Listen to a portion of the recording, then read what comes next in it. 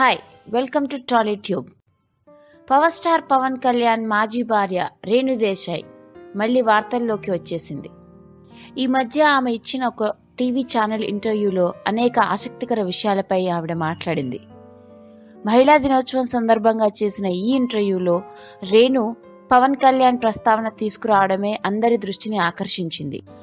పవన్కు భర్తగా పదికి ఐదు మార్కులంటూ ఆమె చేసిన వ్యాఖ్యలు చర్చనీయాంశమయ్యాయి. అక్కడి నుంచి పవన్ అభిమానుల మీదికి కూడా టాపిక్ మళ్ళిచ్చింది రేణు దేశాయ్.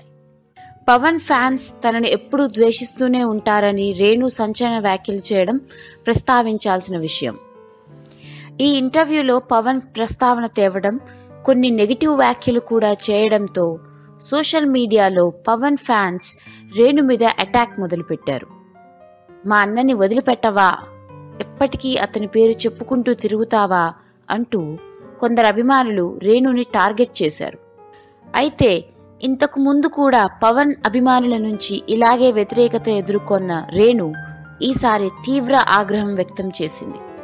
రెండున్నర గంటల ఇంటర్వ్యూలో పవన్ గురించి పిల్లల గురించి రేణు కనీసం ఇరవై నిమిషాల సేపు కూడా మాట్లాడలేదని పవన్ అభిమానులు ఆమెపై చాలా ఆగ్రహం వ్యక్తం చేశారు.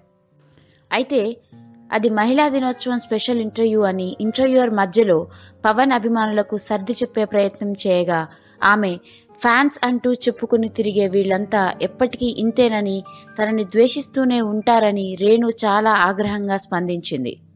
ఇంతలో కొందరు అభిమానులు రేణుని ఊరడించే మాటలు చెప్పినా ఆమె శాంతించలేదు. దీంతో రేణు ఇంకోసారి పవన్ గురించి ఇంటర్వ్యూలు ఇచ్చే సాహసాలేమీ చేయకపోవచ్చేమో. ఈ వీడియో కనుక మీకు నచ్చినట్లయితే లైక్ చేయండి షేర్ చేయండి కామెంట్స్ చేయండి. మరిన్ని వీడియోస్ కోసం ప్లీజ్ సబ్స్క్రైబ్ చేసుకోండి. Thank you.